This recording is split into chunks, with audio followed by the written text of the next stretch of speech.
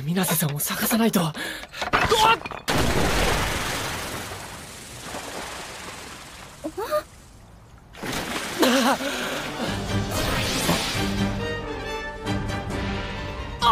ちょっといいかな。え？そのみ見えそうだよ。変態これは事故で。信じられないサキサキの彼氏がこんな人だったなんて。申し訳ない。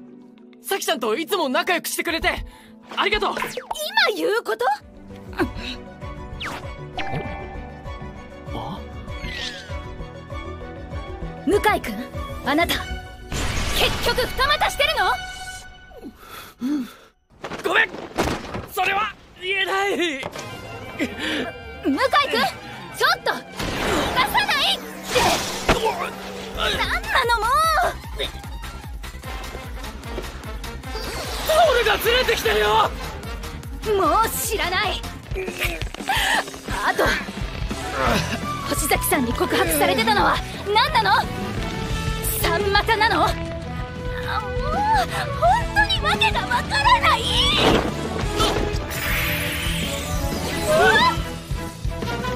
ここなら偶然あったこと。に